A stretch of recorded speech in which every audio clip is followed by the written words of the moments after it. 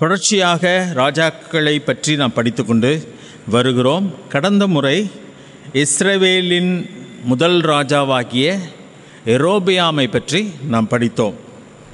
சாலமோனுடைய பாவத்தின் நிமித்தமாகவும் சாலமோனுடைய மகன் ரெஹோபியாமின் மதீனத்தின் நிமித்தமாகவும் இஸ்ரவேல் இரண்டாக பகுக்கப்பட்டது. தேவன்தான் அதை செய்தார். ஆண்டவர் அங்கே சாலமோன் செய்த பாவத்து நிமித்தம் ஆண்டவர் அவன் மேலே கோபப்பட்டு இஸ் அவனுடைய கையில் இருந்த பத்து கோத்திரத்தை எடுத்து சாலமோனுடைய பணிவிடைக்காரனாக இருந்த எரோபியாம் கையிலே கொடுத்தார் என்று சொல்லி நம்ம கடந்த முறையே நம்ம பார்த்தோம். ஆண்டவர் அதை பதினோராவது அதிகாரத்திலேயே சொல்லிவிட்டார். அதை நாம் கடந்த முறை விவ்- விளக்கமாக நாம் பார்த்தோம். ஒன்று ராஜாக்கள் பதினோராவது அதிகாரம் பதினோராவது வசனத்திலே ஆண்டவர் சொல்லும்போது சொல்லுகிறார். அந்த பதினோராவது வசனத்தினுடைய கடைசியிலே உன்னிடத்திலிருந்து பிடுங்கி அதன் ஊழி அதை உன் ஊழியக்காரனுக்கு கொடுப்பேன் என்று சொல்லி ஆண்டவர் சொல்லுகிறார். ஆண்டவர் அப்படிதான் பிடுங்குகிறார். எத்தனை என்று சொன்னால் பத்து கோத்திரத்தை பிடுங்கி அதை கொடுக்கிறார்.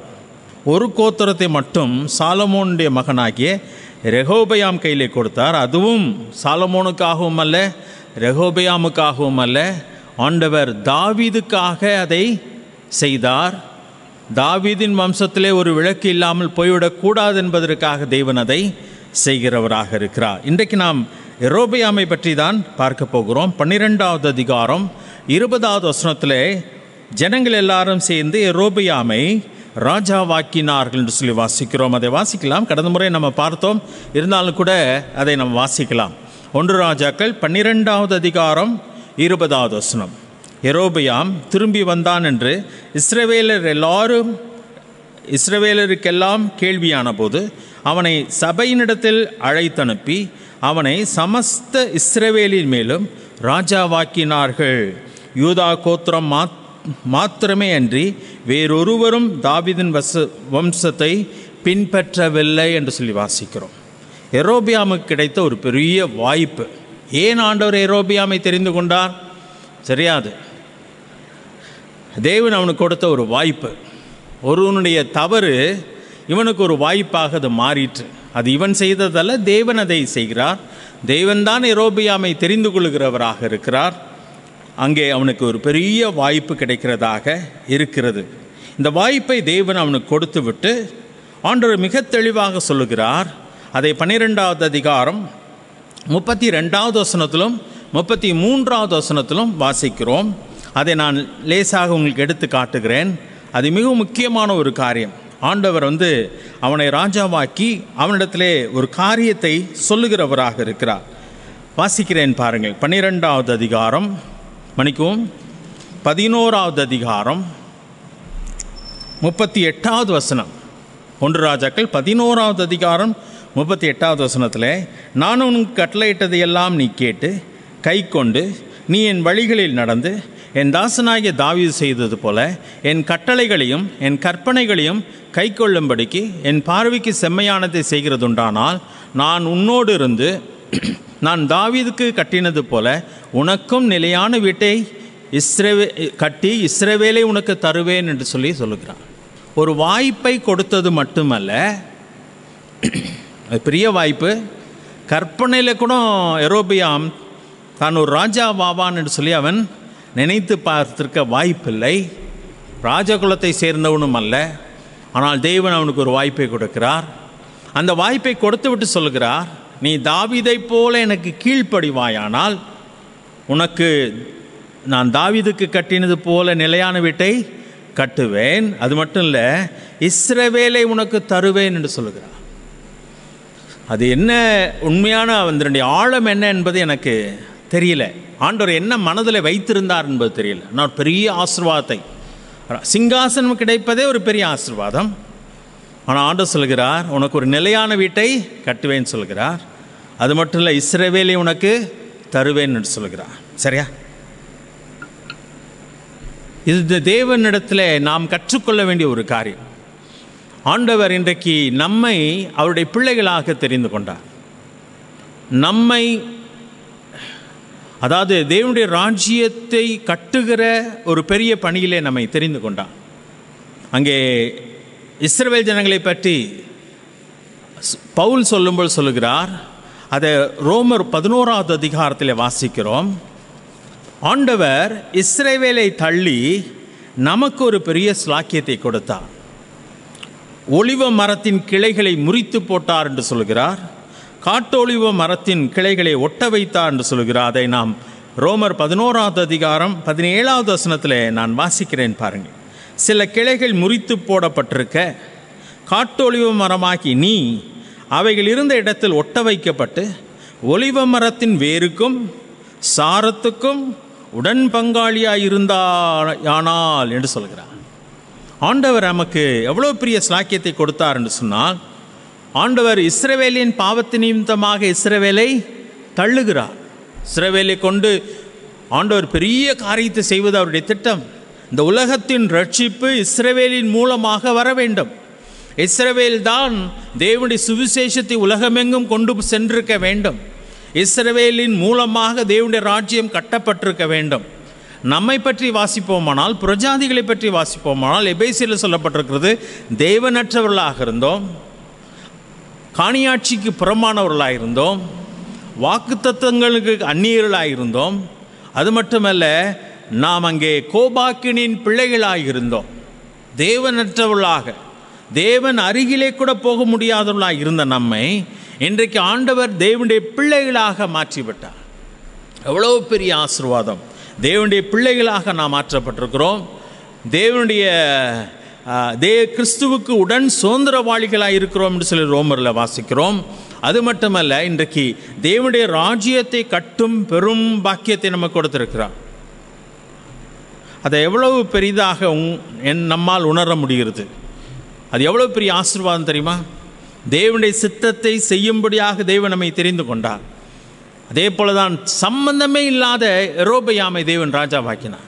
சொல்லுகிறார் நான் உனக்கு நிலையான வீட்டை கட்டுவேன். இஸ்ரவேலை உனக்கு தருவேன் என்று சொல்கிறார் இன்றைக்கு தெய்வன் நமக்கு கொடுத்திருக்கிற ஆசீர்வாதம் என்ன என்பதை நம்மால் உணர முடியுமானால் அதுதான் ஒரு பெரிய காரியமாக தெய்வன் நம்மை தெரிந்து கொண்டிருக்கிறார். தேவன் நம்மை அவருடைய ராஜ்யத்தை கட்டும் பணியை கொடுத்திருக்கிறார்.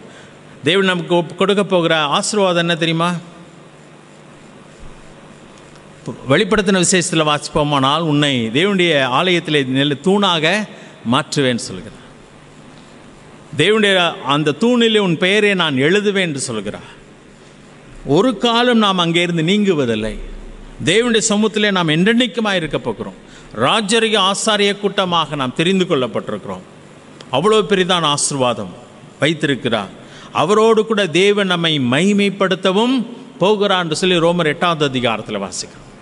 அதாவது நம்மை தெரிந்து கொண்டார் நம்மை அழைத்தார் நம்மை நம்மை மகிமைப்படுத்தி இருக்கிறார் நீதிமான்களாக்கி இருக்கிறார் நம்மை மகிமைப்படுத்தியும் இருக்கிறார் சொல்கிறார் மகிமைப்படுத்த போக பட போகிறோம் ஒரு நாளில். எவ்வளோ பெரிய ஆசீர்வாதம். அதுதான் இங்கே எரோபியாமுக்கு கொடுத்த கொடுக்கப்பட்ட பெரிய ஆசீர்வாதமாக இருக்கிறது. சரியா? எரோபியாமுக்கு தேவன் கொடுத்தார். அவனிடத்திலே தேவன் எதிர்பார்த்ததெல்லாம் நீ தாவிது என கீழ்ப்படிந்தது போல நீயும் கீழ்ப்படிய வேண்டும் என்று சொல்லி சொல்லுகிறார். இதுதான் எரோபியாமுக்கு கொடுக்கப்பட்ட ஒரு காரியம். ஆனால் எரோபியாமின் வாழ்க்கையிலே ஏற்பட்ட காரியம் என்ன என்பதை பன்னிரெண்டாவது அதிகாரத்தில் நாம் பார்க்கலாம். அவனுடைய வாழ்க்கையில் ஒரு பெரிய பயம். அதை என்ன பயம் என்று சொன்னால் கற்பனை பயம். பயம் எல்லாமே நிறைய நேரத்தில் கற்பனை பயம்தான். கவலைகளும் கற்பனையான கவலைகள் தான் இங்கே அவனுடைய மனதில் ஒரு கற்பனையான ஒரு கவலை பயம் அவனை சூழ்ந்தது. பன்னிரெண்டாவது அதிகாரம் இருபத்தி ஆறாவது வசனத்துக்கு வரலாம். எரோபியாம் இப்போது ராஜ்யபாரம் தாவீது வசமாய் திரும்புகிறதா இருக்கும் என்று சொல்கிறான். என்ன திரும்புகிறதா இருக்கும்? இருபத்தி ஏழாவது வசனத்தை வாசிக்கலாம். ஒன்று ராஜாக்கள் பன்னிரெண்டு இருபத்தி ஏழு. இந்த ஜனங்கள் எருசலேமில் உள்ள கத்தருடைய ஆலயத்தில் பலிகளை செலுத்த போனால் இந்த ஜனங்களின் இருதயம் யூதாவின் ராஜாவாகிய ரெகோபயாம் என்னும் தங்கள் ஆண்டவன் வசமாய் திரும்பி அவர்கள் என்னை கொன்று போட்டு யூதாவின் ராஜாவாகிய ரெகோபயாமின் பரிசமாய் போய்விடுவார்கள் என்று தன் மனதிலே சிந்தித்து கொண்டிருந்தான். இதுதான் அவனுடைய கற்பனை. என்ன கற்பனை? இப்போ ராஜா வாயாச்சு ஜனங்கள் எல்லாரும் சேர்ந்து பத்து கோத்திரத்தின் மக்கள் சேர்ந்து அவனை ராஜாவாக்கிட்டாங்க. இப்போ ராஜாவாகி அவன் உட்காந்தாச்சு சிங்காசனத்தில் போய் உட்காந்தாச்சு திடீர்னு அவன் மனசில் ஒரு யோசனை வருது. ஏன்னா கிடைக்காதது கிடைச்சிருக்கு அவன் கையில். அவனால் அதை கற்பனை பண்ணி கூட பார்க்க முடியல. ஆண்டவர் அவனை அப்படிப்பட்ட ஒரு இடத்துல கொண்டு வந்து வைத்திருக்கிறா. இப்போ அவனுக்கு ஒரு பயம் இது நம்ம கையை விட்டு நழுவி விடுமோ? தன்னிடத்திலிருந்து பிடுங்கப்பட்டு விடுமோ? அதான் இருபத்தி ஆறில் சொல்கிறார் ராஜ்யபாரம் தாவீது வசமாய் திரும்புகிறதா இருக்கும் எப்படி திரும்புன்னு சொல்லுகிறான் இருபத்தி ஏழாம் வசனத்தில்? ஜனங்கள் எல்லாம் இங்கேருந்து எருசலேமுக்கு ஆலயத்துக்கு போவாங்க. ஏன்னா வருஷா வருஷம் அவங்க எருசலேமுக்கு போகணும் இஸ்ரேல் ஜனங்கள். பண்டிகை கொண்டாடுவதற்காக மூன்று முறையாவது போவார்கள். அப்படி போகும்போது இயற்கையாகவே அவங்க யார் மேலே அவங்க பாசம் வரும்னு சொன்னால் தாவீதின் வம்சத்தின் மேலே அவங்களுக்கு ஆசை வரும். தாவீதின் பையன் இல்லையா? சாலமோனுடைய பையன் இல்லையா? ரெகோபியாம். அவன் தானே நிஜமாக நம்மளுக்கு ராஜாவாகணும். இவன் யாரு? இவன் இடையில வந்தவன் தானே. அப்படின்னு நினச்சி நம்மளை கொன்று போடுவார்கள். என்னை தள்ளி போடுவார்கள். அவன் பக்கமாக சேர்ந்து கொள்வார்கள் என்று சொல்லி யோசிக்க ஆரம்பித்தான். இது நியாயமான பயமா அப்படின்னு சொல்லிட்டான் கேட்டால் உலகப்பிரகாரமாக நியாயமாக தெரிய இருக்கிறதாக இருக்கலாம். ஆனால் இது நியாயமில்லாத ஒரு பயம். ஏன்னு சொன்னால் இந்த ராஜ்ய பாரத்தை எரோபியாம் சண்டையிட்டோ தன்னுடைய பலத்தினாலோ அதை சம்பாதிக்கவில்லை. அது அவன் கையில் இலவசமாய் கொடுக்கப்பட்டது. கிருபையாக கொடுக்கப்பட்டது. அது மறுபடியும் பிடுங்கப்படுமா அப்படின்னு சொன்னால் அது தேவன் நினைத்தால்தான் செய்யும் யார் கொடுத்தாரோ அவர் தான் திரும்பி பிடுங்க முடியும். ஆனால் இவன் தேவனிடத்திலிருந்து இலவசமாய் பெற்றுக்கொண்ட ஒன்றை தக்க வைத்து கொள்வதற்காக இவன் யோசிக்க ஆரம்பிக்கிறான். பத் இருபத்தி ஏழாம் கடைசியில் சொல்லும் பொழுது மனதிலே சிந்தித்து கொண்டிருந்தான் அப்படி சொல்லியிருக்கு. இது வீணான கற்பனை பயம். இன்றைக்கி நம்முடைய வாழ்க்கையை பற்றி நிறைய நேரத்தில் கற்பனை பயங்கள். கொரோனா வந்து விடுமோ? அல்லது ஏதாவது வியாதி கேன்சர் வந்து விடுமோ? இப் என் வேலை போய்விடுமோ எனக்கு இது நடந்து விடுமோ? அது நடந்து விடுமோ? இப்படி ஆகிவிடுமோ? வயசானப்போ பிள்ளைங்கள்லாம் நம்மளை கவனிக்காமல் போயிடுவாங்களோ என் நிலைமை பரிதாபமாக போயிருமோ? அப்படின்னு சொல்லி வீணாக கவலைப்பட தேவையில்லை. மத்திய ஆறாவது அதிகாரத்தில் ஆண்டவர் வந்து கவலைப்பட வேணான்றதை அழகாக சொல்லுகிறார். அதை வாசிக்கலாம். அதில் என்ன சொல்லுகிறார் என்பதை நம்ம சரியாக புரிந்து கொள்ள வேண்டும். மத்திய ஆறாவது அதிகாரம் இருபத்தி ஐந்தாம் வசனத்தை வாசிக்கிறேன். நமக்கு நன்றாக தெரிந்த ஒரு பகுதி தான் அது. மத்திய ஆறாவது அதிகாரம் இருபத்தி ஐந்தாவது வசனம். ஆகையால் எண்ணத்தை உண்டுவோம் எண்ணத்தை குடிப்போம் என்று உங்கள் ஜீவனுக்காகவும் எண்ணத்தை உடுப்போம் என்று உங்கள் சரீரத்துக்காகவும் கவலைப்படாதிருங்கள் என்று உங்களுக்கு சொல்லுகிறேன். ஆகாரத்தை பார்க்கலும் ஜீவனும் உடையை பார்க்கிலும் சரீரமும் விசேஷித்தவைகள் அல்லவா என்று சொல்லி ஆண்டவர் சொல்கிறார். ஆண்டவர் என்ன சொல்கிறாருன்னா விலை கொடுத்து வாங்க முடியாத ஜீவனை நமக்கு என்ன பண்ணியிருக்கிறார்? கொடுத்துருக்கிறார். விலை கொடுத்து வாங்கக்கூடியது உணவு. விலை கொடுத்து வாங்க முடியாத சரீரத்தை நமக்கு இலவசமாக கொடுத்துருக்கிறார். விலை கொடுத்து வாங்க முடிய கூடியது உடைகள். அப்போ நம்மளால் வாங்க முடியாதது தெய்வம் நம்ம கையில் கொடுத்துருக்கும் போது வாங்கக்கூடியதை பற்றி நீ ஏன் கவலைப்படுகிறாய்? என்று சொல்லி ஆண்டு சொல்கிறார். அதுக்கு தான் உதாரணமாக சொல்கிறார் அடுத்த வசனத்தில் ஆகாயத்து பட்சிகளை கவனித்து பாருங்கள் அது விதைக்கிறதும் இல்லை அறுக்கிறதும் இல்லை களஞ்சத்திலே சேர்த்து வைக்கிறதும் கிடையாது. ஆனாலும் அவைகளை அவர் போஷிக்கிறவராயிருக்கிறார். இருபத்தி ஆறு கடைசியில் சொல்லும் பொழுது அவைகளை பார்க்கலும் நீங்கள் விசேஷித்தவர்கள் அல்லவா? எப்படி விசேஷித்தவர்கள்? பறவைகள் பட்சிகள் பூக்கள் எல்லாம் ஆண்டுடைய பிள்ளைகள் அல்ல. நாம் யாராயிருக்கிறோம்? ஆண்டுடைய பிள்ளைகளாயிருக்கிறோம். அவருடைய சாயலிலே படைக்கப்பட்டவர்களாக இருக்கிறோம் ஆண்டவர் நமக்கு அழகான ஜீவனை கொடுத்திருக்கிறார். சரீரத்தை கொடுத்திருக்கிறார் அதற்குரிய தேவைகளையும் அவர் சந்திப்பார். நாம் உழைக்க வேண்டும். பட்சிகள் உழைக்கிறதா என்று சொன்னால் நாம் ஆகாரம் தேடி அலைகிறதா இருக்கு. அது எல்லா காரியங்களும் செய்கிறதா இருக்கு. ஆனால் அவைகளை போஷிக்கிறவராக அவர் இருக்கிறார். அதே போல் நாமும் போஷிக்கப்படுவோம். அதாவது நம்மாலே காக்க முடியாத ஒன்றை பற்றி நாம் கவலைப்பட வேண்டிய அவசியம் இல்லை. ஜீவனை காக்க முடியுமா நம்மால்? முடியாது. ஆனால் ஜீவனுக்கு செய்ய வேண்டிய காரியத்தை நம்ம என்ன பண்ணிக்கிட்டே இருக்கணும்? செஞ்சிட்டே இருக்கணும். சாப்பாடு இருந்துச்சுன்னா அது பழைய சோறாக இருந்தாலும் ஸ்தோத்திரம் செலுத்திட்டு சாப்பிடணும். எது இருக்குதோ அதை நன்றி செலுத்தி விட்டு சாப்பிடுவோமானால் அந்த ஜீவனுக்கு வேண்டிய பலனை தேவன் கொடுக்கிறார். தண்ணி தான் இருக்குது சாப்பிட்றதுக்குன்னு சொன்னால் அந்த தண்ணியை கூட நன்றி செலுத்திட்டு சாப்பிட்டால் சரீரத்துக்கு வேண்டிய ச பலனை தேவன் கொடுக்கிறவராக இருக்கு. ஏன்னு சொன்ன சரீரம் அவர் கொடுத்தது. நம்ம சொத்து அல்ல. நம்முடைய ஜீவன் நம்முடைய சொத்து அல்ல. அதை நான் அப்படியே காக்கணும்னு சொல்லி முயற்சி எடுத்தால் ஆண்டு அங்கே சொல்கிறா ஜீவனை காக்க விரும்புகிறவன் அதை இழந்து போவான். என் நிமித்தம் ஜீவனை இழக்க கொடுக்கிறவன் அதை காத்து கொள்கிறான் சொல்கிறார் அப்படியே நான் ரொம்ப கவனமாக பார்த்து பார்த்து நடந்தால் நான் நூறு வருஷம் வாழுவேன்னு யாராவது நினச்சாங்கன்னா அது உன் கையில் இல்லைன்றதை ஆண்டவர் ஒரு நாளில் நிரூபிப்பார். நம்ம கையில் இல்லவே இல்லை அது. ஆனால் நம்ம செய்ய வேண்டிய கடமைகளை செய்ய வேண்டும். நம்முடைய சரீரங்களை பேண வேண்டும் சரீரத்துக்கு பாதுகாப்பு கொடுக்க வேண்டும் தேவையானது எல்லாத்தையும் செய்யணும். ஆனால் ஜீவனை என்னால் காக்க முடியாது என்பதை ஆண்டர்கிட்ட நம்ம அறிக்கை சரி நான் இருக்கிறதை நான் சாப்பிடுகிறேன் எனக்கு நல்ல சுகத்தையும் பலனி தாரோம். அதனால தான் ஆகாரத்தை முன்னாடி வச்சுட்டு ஆண்டவரே நன்றி ஆண்டவரே நல்ல சுகத்தையும் பலனி எங்களுக்கு தாங்கன்னு சொல்லிட்டு நம்ம சாப்பிடணும். காரணம் ஜீவன் யார் தான் கொடுக்கறது? அவர் கொடுக்குறார். சரீரம் அவர் தான் கொடுக்குறார். கவலைப்பட வேண்டிய அவசியம் இல்லை. அப்போ இந்த எரோபயாம் தேவையில்லாத காரியத்துக்காக கவலைப்படுகிறான். சரி தேவையில்லாத காரியத்துக்காக. அவனால் காப்பாற்ற முடியாது அந்த காரியத்தை. அப்போ அதை காரியத்துக்காக கவலைப்படுகிறதுனாலே விளைவு என்னன்னு சொல்லி பார்த்தா அவன் பயங்கரமான தவறை செய்கிறான். சரியா? அதாவது பண ஆசை எல்லாத்தையுமைக்கும் வேறானது. இந்த பண ஆசையே வந்து ஒரு கவலை தான் எனக்கு நிறைய பணம் வேணும் நான் என்ன பண்ணுறது அப்படி சொல்லி ஒரு மனுஷன் நினைக்க ஆரம்பிச்சாச்சுன்னா எனக்கு அது இல்லை இது இல்லை வேணும் வேணும்னா யோசித்தா கடைசியில் எங்கே போய் நம்ம முடிகிறோம் சொன்னால் தவறான ஒரு முடிவுக்காக. தர தவறான காரியத்தை செய்வதற்கு நம்ம ஏவப்படுவோம். அதனால தான் சொல்கிறார் போதுமென்ற மனதுடனே கூடிய தெய்வ பக்தியே மிகுந்த ஆதாயம். இப்போ வச்சிருக்கிறார். இன்னைக்கு நான் உயிரோடு இருக்கிறேன். நாளைக்கு இருப்பேனா இருக்க மாட்டேனான்னு தெரியாது. அது ஆணுடைய கரத்தில் இருக்கிறது. நான் இன்றைக்கு நான் சந்தோஷமாக இருக்கிறேன். இன்றைக்கு தேவன் எனக்கு இந்த ஜீவனை கொடுத்ததுனாலே அவருக்கு நான் நன்றி செலுத்துகிறேன்னு சொல்லி போய்கொண்டிருக்க வேண்டும். நாளைய தினத்தை பற்றி அந்தந்த நாளுக்கு அதினத்தின் பாடுகள் போதும் என்று சொல்கிறார். இப்போ எரோபியாம் இப்படி நடந்துவிடுமோ என்று சொல்லி யோசித்து கவலைப்பட ஆரம்பித்ததினாலே அதை யோசிக்க ஆரம்பித்ததினாலே ஒரு தீமையான திட்டம் அவன் மனதிலே தோன்றுகிறதாக இருக்கிறது. அது அவன் செய்த தவறாக மாறுகிறது. ஆண்டு தெளிவாக சொல்கிற நீதிமொழியில் மூன்றாவது அதிகாரம் சொல்லும் பொழுது உன் சுய புத்தியின் மேல் சாயாமல் சொல்கிறார்.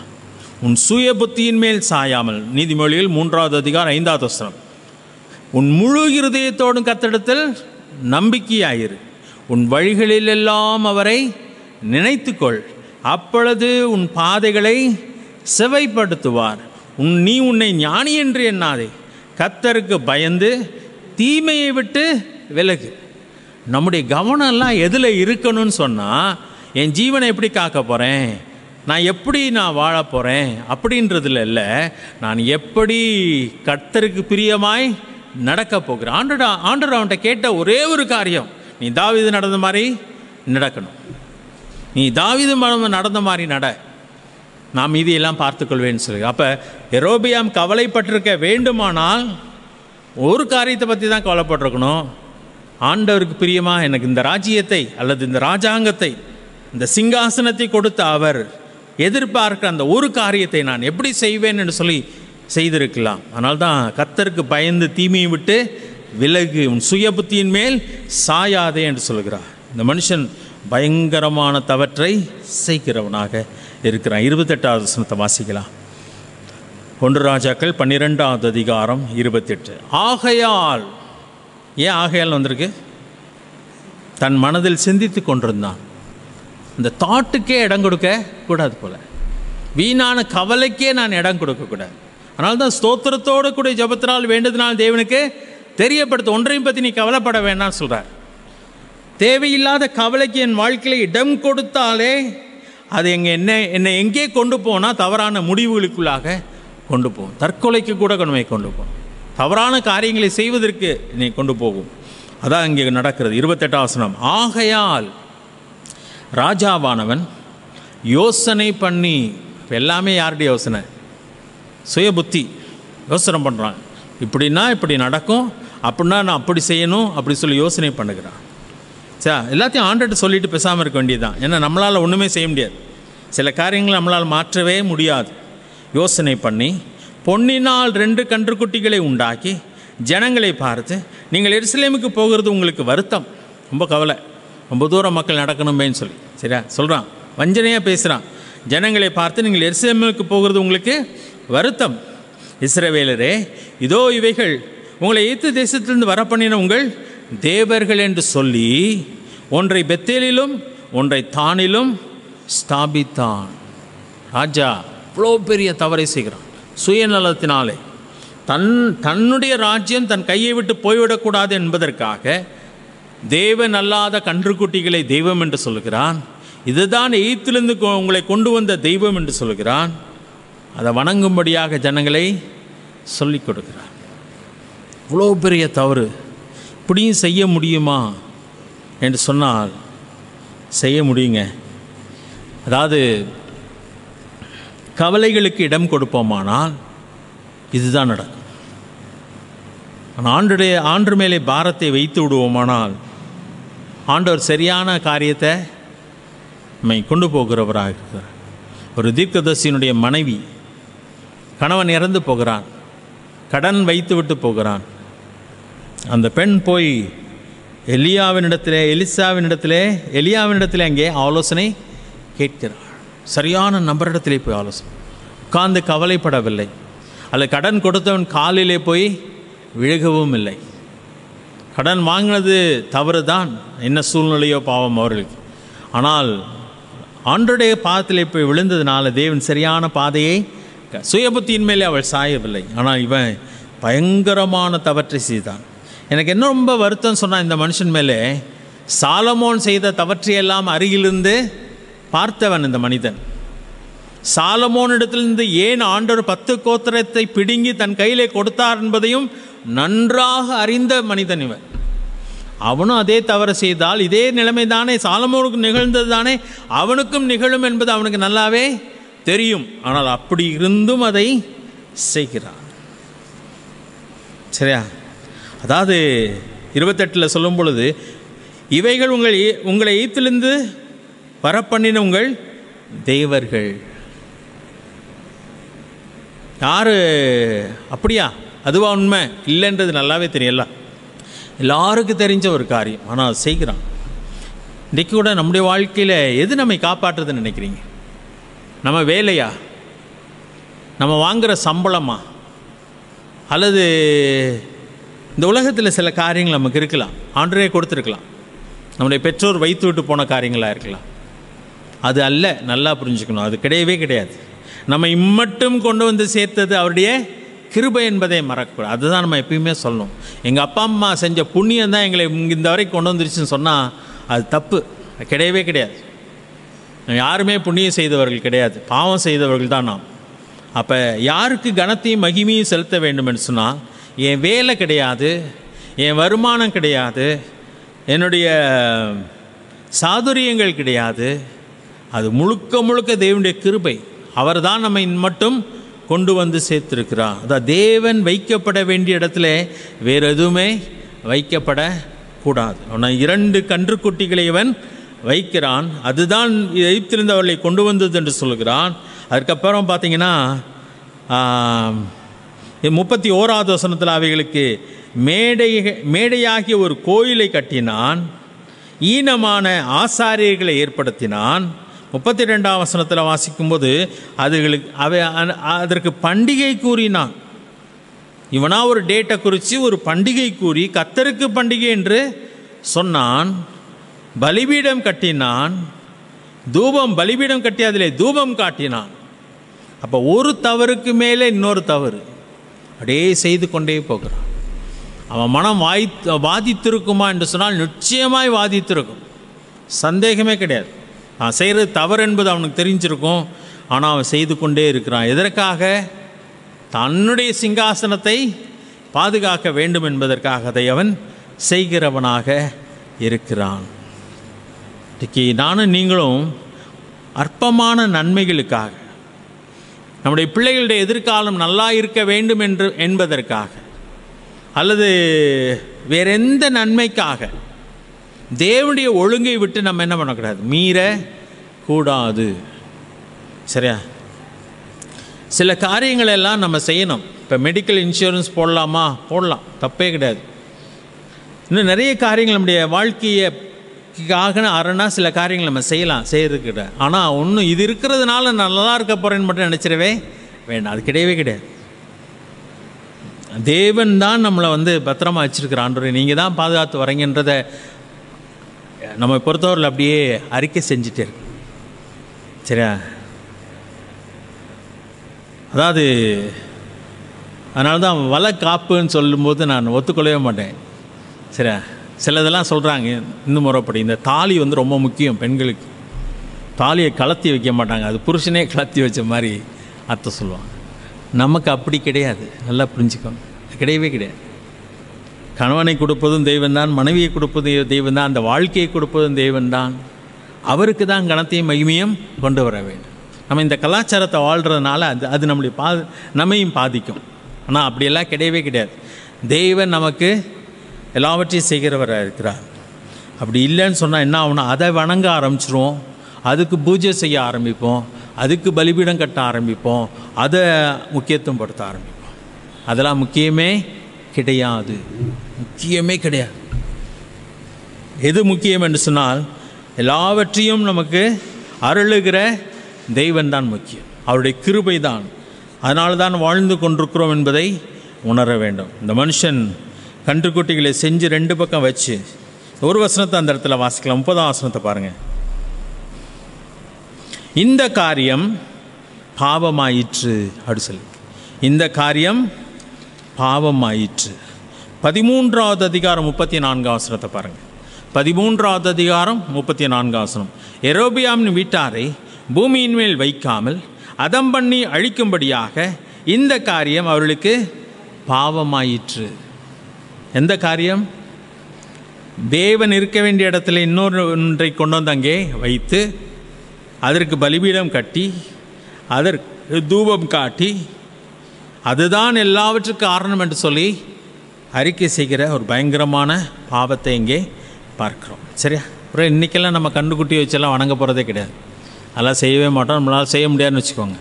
ஆனால் என் வேலையை பூஜிக்கிறோமா? கணவன் மனைவியை பூஜிக்கிறதும் மனைவி கணவனை பூஜிக்கிறதும் பூஜிக்கிறோம் நீங்கள் தாங்க என் தெய்வம் மாதிரி அப்படிலாம் சொல்லக்கூடாது. கிடையவே கிடையாதுலாம் அந்த வார்த்தை கூட தவறு. ரெண்டு பேர் முக்கியம்தான். ரெண்டு பேரையும் தேவன் தான் கொடுத்துருக்குறா பிள்ளைகள் முக்கியம். பிள்ளைகளுக்கு பெற்றோர் முக்கியம். ஆனால் அதெல்லாம் இந்த உலகத்தோட மறைஞ்சு போயிடும் ஆனால் தேவன்தான் எல்லாவற்றுக்கும் காரணம். யாரை வணங்க வேண்டும்? யாரை பூஜிக்க வேண்டும் என்று சொன்னால் தேவனை மட்டும்தான் என்பதை மறந்து போக வேண்டாம். சரியா? பதிமூன்றாவது அதிகாரத்துக்கு வந்துடலாம். தேவன் எச்சரிக்கிறவராக இருக்கிறார். பதிமூன்றாவது அதிகாரம் முழுவதுமே தேவனுடைய எச்சரிப்பாக மாறுகிறது. இந்த தேவனுடைய எச்சரிப்பே தேவனுடைய அன்பு. அவர் நம்மை நேசிக்கிறார் என்பதற்கு அடையாளமாக காணப்படுகிறது. ஏன்னா அவன் எவ்வளோ பெரிய அழிவுக்கு நேராக போக போகிறான் என்பதற்காக தேவனை இதை தடுப்பதற்காக என்ன பண்ணுகிறான்னு சொன்னால் ஒரு மனுஷனை அனுப்புகிறார். வாசிக்கலாம் முதல் வசனத்தை வாசிக்கிறேன். பதிமூன்றாவது அதிகாரம். எரோபியாம் தூபம் காட்ட பலிபீட தண்டையில் நிற்கையில். அந்த காரியத்தை அவன் செய்து கொண்டிருக்கிறான். அப்படி நிற்கும் பொழுது இதோ தேவனுடைய மனுஷன் ஒருவன் கர்த்தருடைய வார்த்தையின்படியே யூதாவிலிருந்து பெத்தேலுக்கு வந்து என்று சொல்லி வாசிக்கிறோம் ஆண்டவர் அனுப்புகிறார். தேவனே கூட இறங்கி வருகிறார்ல? காயினுடைய வாழ்க்கையில் தேவன் தான் இறங்கி வந்தார். ஆதாம் தவறு செய்தப்ப தெய்வம் தான் இறங்கி வருகிறார் காயின் ஒருவேளை இன்னும் தவறு செய்யலை.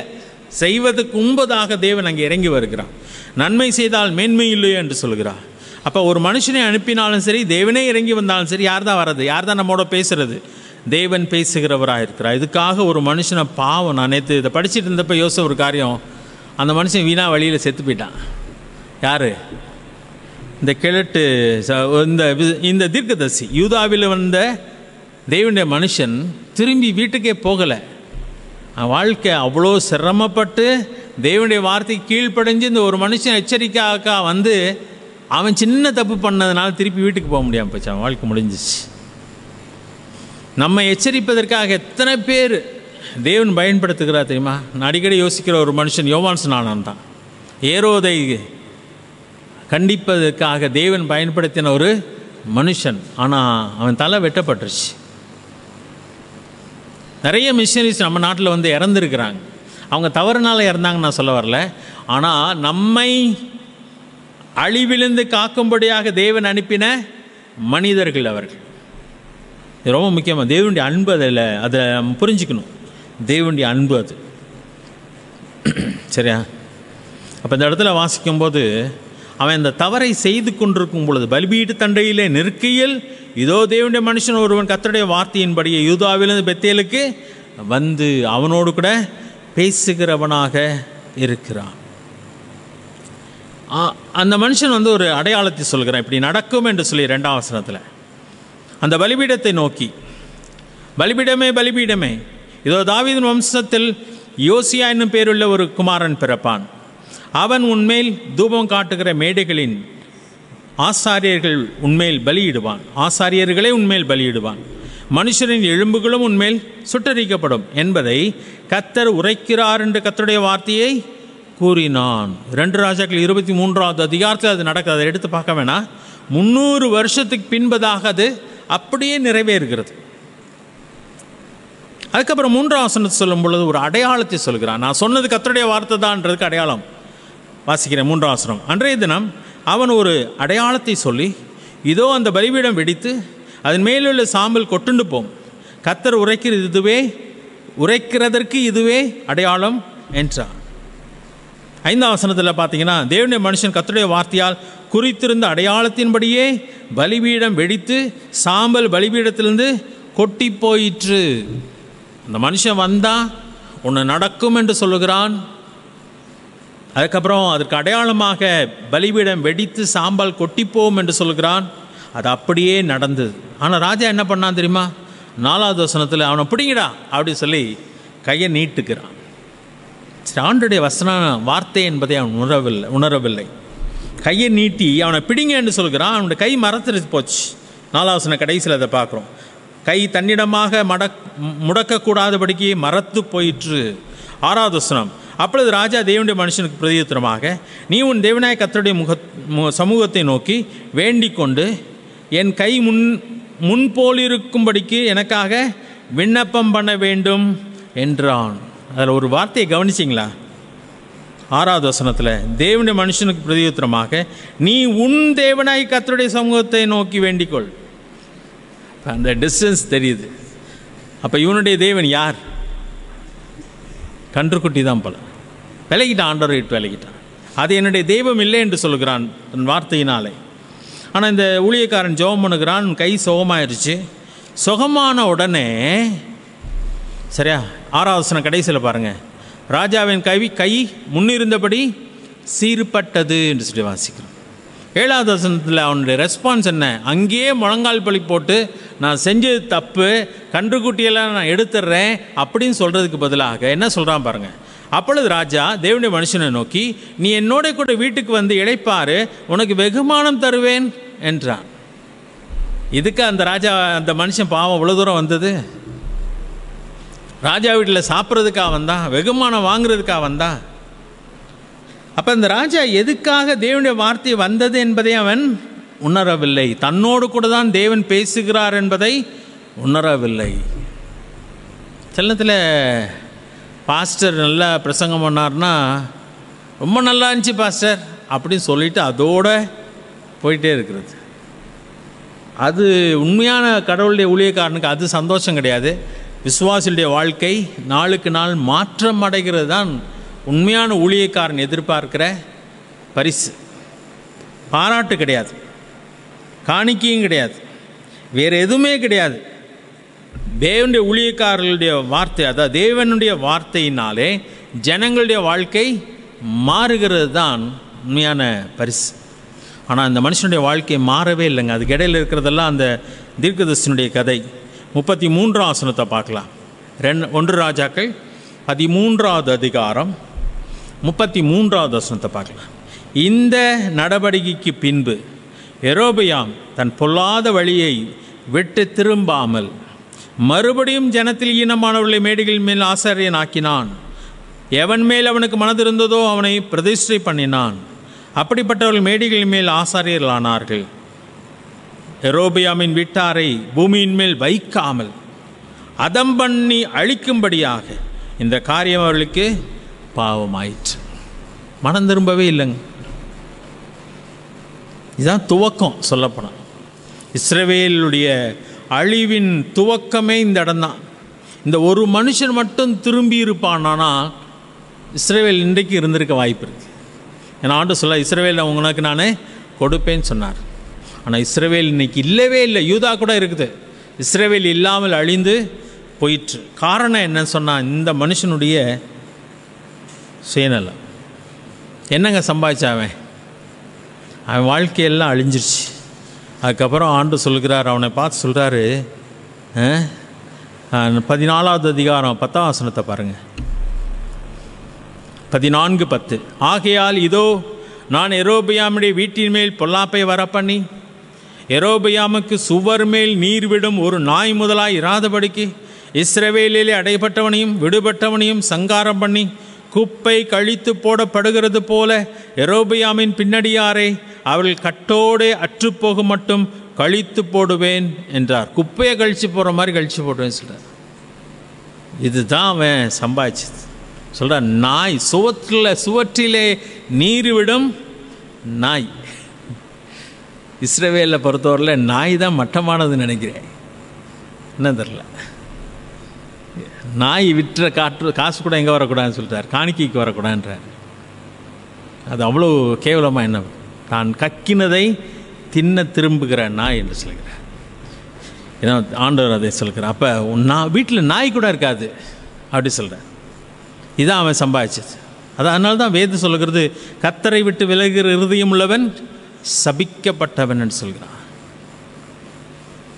ஆண்டரை விட்டு விலகிறதுனால என்ன சம்பாதிக்க போகிறோம்? எதையுமே சாதிக்க போகிறதில்ல ஆண்டவர் கொடுக்கறது தான் ஆசிர்வாதம். கத்தர் ஐஸ்வர்யத்தை கொடுப்பா அதான் கத்தருடைய ஐஸ்வர்யமே இல்லையே? கத்தருடைய ஆசிர்வாதமே? ம். நீதிமொழியில் பத் பத்தாவது அதிகாரம் இருபத்தி ரெண்டாவது வசனம். கத்தரின் ஆசிர்வாதமே ஐஸ்வர்யத்தை தரும். அதனோட அவர் வேதனையை கூட்டார். கத்தரின் ஆசிர்வாதமே ஐஸ்வர்யத்து. வேறு எந்த ஆசிர்வாதமும் ஐஸ்வர்யம் இல்லை. உண்மையான ஐஸ்வர்யம் வந்து கத்தருடைய ஆசீர்வாதம். அதனால தான் ஆப்ரஹாம் வந்து சோதம் ராஜாட்ட சொல்லுகிறான் நீர் என்னை ஆசீர்வாதம் நீர் என்னை ஐஸ்வர்யவானாக்கினேன் என்று சொல்லாதபடிக்கு ஒரு சிரட்டையும் வேண்டாம் பாதரட்சியின் வாரும் வேண்டாம்னு சொல்லுங்க எது ஆசீர்வாதம்? ஆண்டு கீழ்ப்படுகிறதான் ஆசீர்வாதம். ஆண்டவர் நம்மை ஆசிர்வதிப்பாரானால் அதுதான் ஆசீர்வாதம். வேறு எதுவும் ஆசீர்வாதமாக இருக்கவே முடியாது. இது ரொம்ப முக்கியமான ஒரு காரியம். இந்த ராஜா எச்சரிப்பை தட்டினான் தள்ளினான். பதிமூன்றாவது அதிகாரம். தேவன் அவன் கொடுத்த எச்சரிப்பும் அவனுடைய கீழ்ப்படியாமையும் என்பதை பதிமூன்றாவது அதிகாரத்தில் பாருங்கள் பதினான்காவது அதிகாரத்தில் ஆண்டவர் இன்னும் அவனை கொஞ்சம் கடினமாக அவனோடு கூட இடைப்ப சிக்ஷிக்கிறார் அந்த இடத்துல.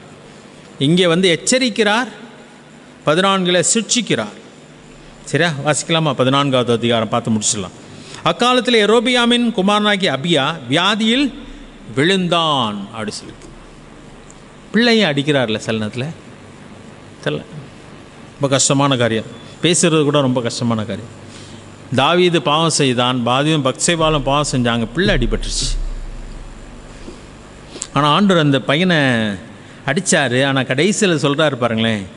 பதிமூன்றாவது அதிகாரம் பதிமூன்றாவது வசனம் கடைசியில் அதாவது பதினான்காவது அதிகாரம் பதிமூன்றாவது வசனம் கடைசியில் எரோபியாவின் சந்ததியில் அவன் ஒருவனே கல்லறைக்குட்படுவான் சொல்கிறான் ஒருத்தன் தான் அங்கே புதைக்கப்படுறதுன்னா இவன் ஒருத்தன் தான் சொல்கிறான் அப்போ இவனுக்கு நன்மை செஞ்சுட்டாரா தீமை செஞ்சார் ஆண்டவர்? நன்மை தான் செஞ்சிட்டார். ஆனால் அவனை தான் அடிச்சிட்டார். வியாதியில் விழுந்தான்.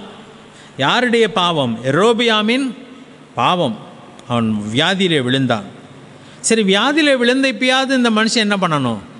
ஆண்டோட்ட போய் விழுந்து மன்னிப்பு கேட்டு ஆண்டோரே நான் மனம் திரும்புகிறேன் என்று சொல்லியிருக்கலாம். ஆனால் அவன் என்ன செய்கிறான் என்பதை பார்க்கலாம். ரெண்டாவது வசனத்தை பாருங்கள் அப்பொழுது எரோபியாம் தன் மனைவியை பார்த்து நீ எழுந்து நீ எரோபியாமின் மனைவி என்று ஒருவரும் அறியாதபடிக்கு வேஷம் மாறி சீலோவுக்கு போ. இந்த ஜனத்தின் மேல் நான் ராஜாவாவேன் என்று என்னோட சொன்ன தீர்க்கதரிசியாகி அகியாவு அங்கே இருக்கிறான். நீ உன் கையிலே பத்து அப்பங்களையும் பணியாரங்களையும் ஒரு கலசம் தேனையும் எடுத்துக்கொண்டு அவனிடத்துக்கு போ. பிள்ளை சம்பு பிள்ளைக்கு சம்பவிக்க போகிறது என்னதுன்னு அவனு அவன் உனக்கு அறிவிப்பான் என்றான். ரெண்டு காரியம் சொல்கிறான் ஒன்று நீ வேஷம் மாறிப்போ.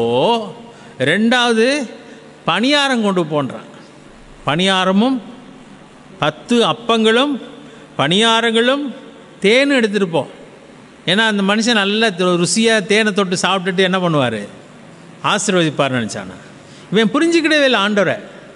அந்த அந்த தீர்க்கதரிசி வந்து சொன்னப்போ வாப்பா என் வீட்டில் வந்து சாப்பிட்டுட்டு போன்றான். சாப்பிட்றதுக்கு அங்கே இருக்கிறாங்க ஊழியக்காரங்க. ஆனால் இங்கே அப்படி தான் நினைக்கிறான். ஆனால் வேஷம் மாறி போகிறான். சரியா?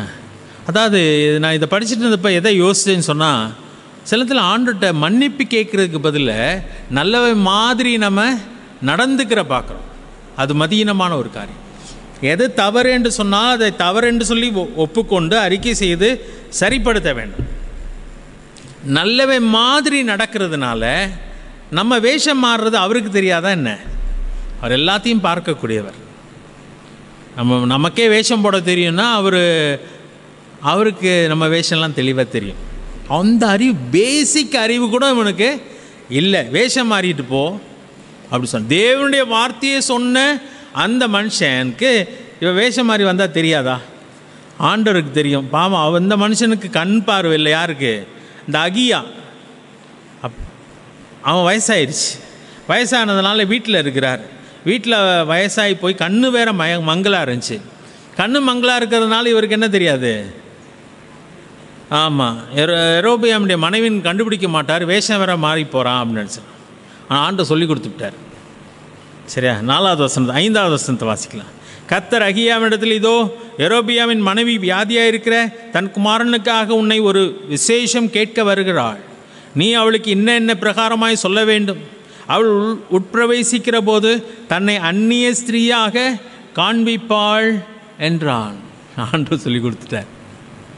சரியா ஊழியக்காரனை ஏமாத்திடலாங்க ஆனால் ஆண்டவரை ஏமாற்ற முடியாது. இன்றைக்கெல்லாம் இப்படியெல்லாம் சொல்லி கொடுக்குறது நான் யோசிப்பேன். நம்மளுக்கு நம்மளை வந்து ப பக்காவாக ஏமாற்றிட்டு போயிடுறாங்களே ஆண்டு சொல்லிக் கொடுக்க மாட்றான்னு ஆனால் நம்மளை சொல்லி கொடுக்கலாம். ஆ, நம்மளை ஏமாற்றலாம் ஆனால் நம்ம புரிஞ்சு ஆண்டரை ஏமாற்ற முடியாது. போய் சிக்கிக்கிறோம். எங்கே போய் சிக்குவோமோ அங்கே போய் சிக்கிக்கிறோம். சரியா? சிக்குகிறான். அதனால் இந்த அகியா என்ன பண்ணுறாரு பார்க்கலாமா? ஆகையால் வாசற்படிக்குள் ஆறாவது வசனம் ஆகையால் வாசற்படிக்குள் பிரவேசிக்கும் அவளுடைய நடையின் சத்தத்தை அகியா கேட்ட உடனே அவன் எரோபியாமின் மனைவியே உள்ளே வா. எப்படி இருந்திருக்க அந்த அம்மாவுக்கு பாவம் கஷ்டப்பட்டு என்னெல்லாம் வேஷம் மாறி போச்சோ. ஐயோ வாசலுக்கு வெளியில் கூட நின்று மறுபடியும் எல்லாம் செட் பண்ணிவிட்டு உள்ளுக்கு போயிருந்திருக்கோம். ஏன்னா ரொம்ப தூரம் நடந்து வந்திருக்கல எவ்வளோ கஷ்டப்பட்டு போனால் கரெக்டாக உள்ளுக்கு நுழையிறதுக்கு முன்னாடி எரோபியாமின் மனைவியாகிய மனைவியே உள்ளே வானா அதுக்கு என்ன பேசுன்னு நினச்சது கூட மறந்து போயிருக்குன்னு நினைக்கிறேன். பதறி போயிருக்கும் அந்த அம்மா. உன்னை அந்நிய ஸ்திரீயாக காண்பிக்கிறது என்ன துக்க செய்தி உனக்கு அறிவிக்க நான் அனுப்பப்பட்டேன். நேரம் மூஞ்சிக்கு நேரம் என்று சொல்கிறார் நீ போய் எரோபியாமை நோக்கி. இதாங்க ரொம்ப விளக்கமாக சொல்கிறார் பாருங்களேன். நீ போய் எரோபியாமை நோக்கி. இஸ்ரேவேல் தேவனாய கத்த சொல்கிறது என்னவென்றால் ஜனத்தினின்று உன்னை நான் உயர்த்தி உன்னை இஸ்ரேவேல் என்னும் என் ஜனத்தின் மேல் அதிபதியாக வைத்தேன். நான் ராஜ்யபாரத்தை தாவிது வம்சத்தாரின் கையிலிருந்து பிடுங்கி உனக்கு கொடுத்தேன். ஆனாலும் என் கற்பனைகளை கைக்கொண்டு என் பார்வைக்கு செம்மையானதையே செய்ய தன் முழு இருதயத்தோடும் என்னை பின்பற்றினேன். தாவ தாசனாகிய தாவிதைப் போல நீ இராமல் உனக்கு முன்னிருந்து எல்லாரை பார்க்கிலும் பொல்லாப்பு செய்தாய்.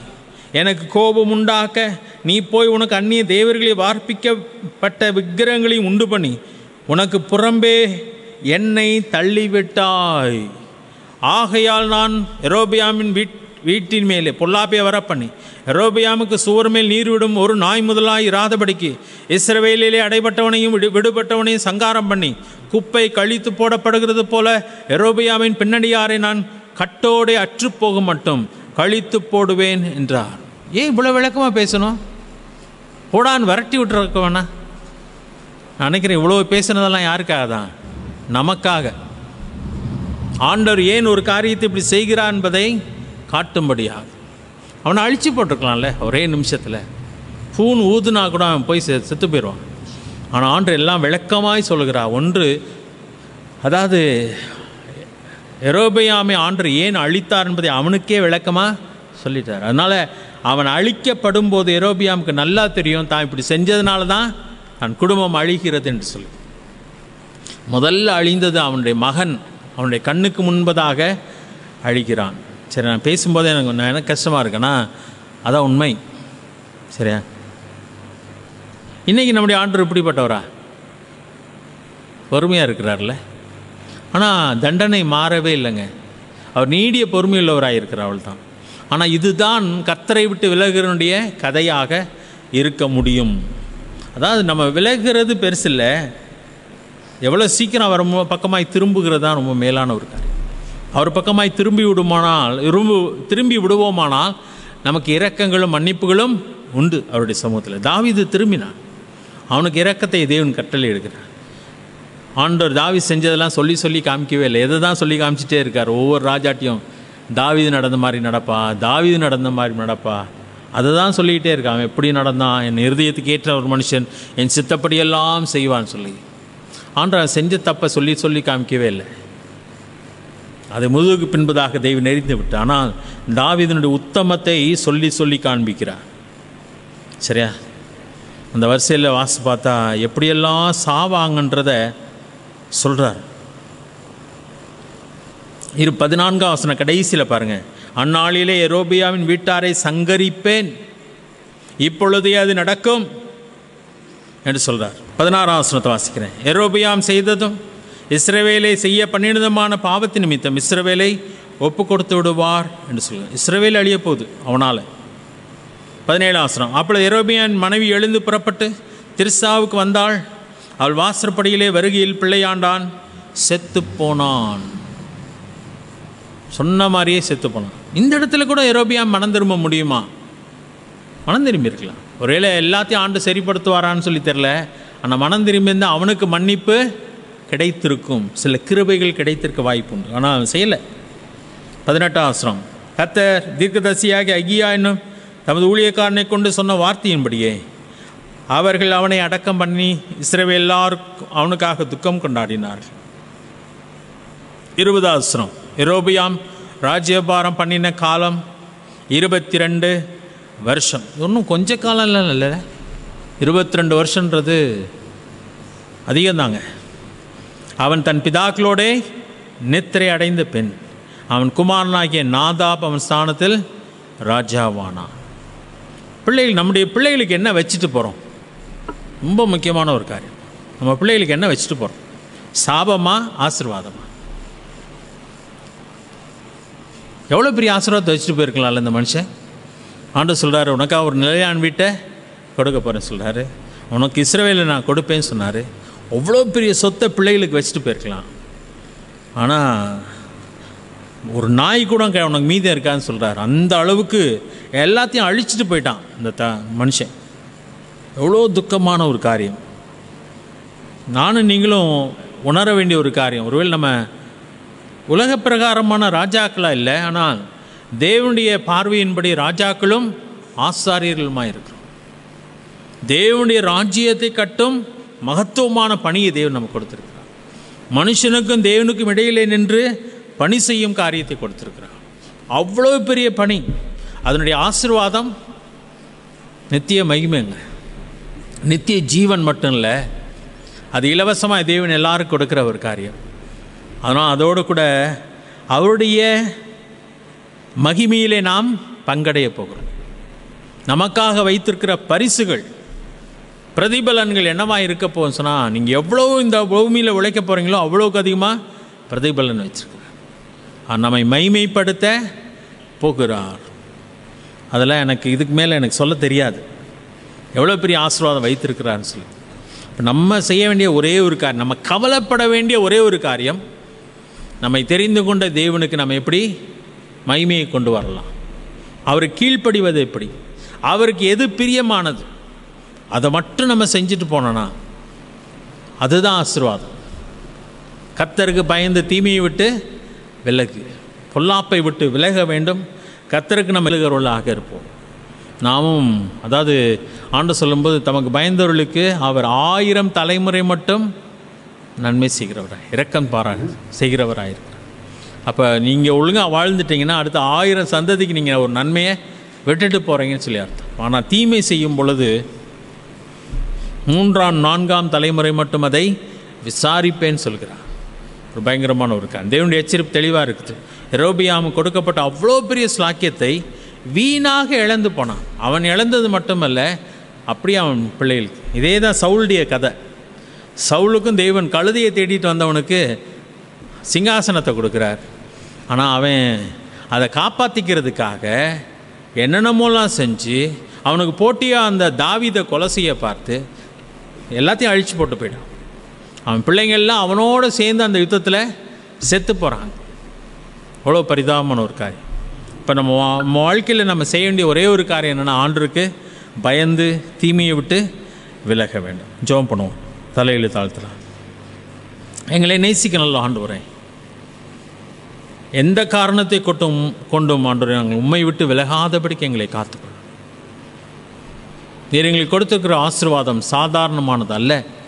உங்களுடைய சொந்த ஜீவ் உங்களுடைய சொந்த குமாரனை எங்களுக்காக கொடுத்த அந்த ஆசீர்வாதத்தை எங்களுக்கு கொடுத்திருக்கிறீர். ஆண்டவராக இயேசு கிறிஸ்து நம்முடைய ஜீவனை எங்களுக்காக கொடுத்த அந்த ஆசீர்வாதத்தை சம்பாதித்திருக்கிறார் எங்களுக்காக. தேவன் அதை இலவசமாக எங்களுக்கு கொடுத்துருக்கிறார். சாதாரணமானது அல்ல ஆண்டவரே உம்முடைய சம்பத்தாக இருந்த இஸ்ரவேல் ஜனங்களை தள்ளிவிட்டு அந்த ஆசீர்வாதத்தை எங்களுக்கு கொடுத்துருக்கிறேன் நாங்கள் இன்றைக்கு உம்முடைய பிள்ளைகளாக இருக்கிறோம் ராஜரிக ஆசாரிய கூட்டமாக இருக்கிறோம் ஆண்டவரே உம்முடைய மாளிகையாக இருக்கிறோம் மோடு கூட உடன் சுதந்திரலாக இருக்கிறோம் உம்முடைய நித்திய ஆசீர்வாதத்திலே பங்குள்ளவர்களாக இருக்கிறோம் நாங்கள் எப்படி இருந்தோம் என்பது எங்களுக்கு நன்றாகவே தெரியும். நீர் கொடுத்திருக்கிற இந்த ஆசிர்வாதத்தை ஒரு காலம் நாங்கள் இழந்து போகாதபடிக்கு நாங்கள் கவனமாய் நடக்கக்கூடிய கிருபை தாரம்.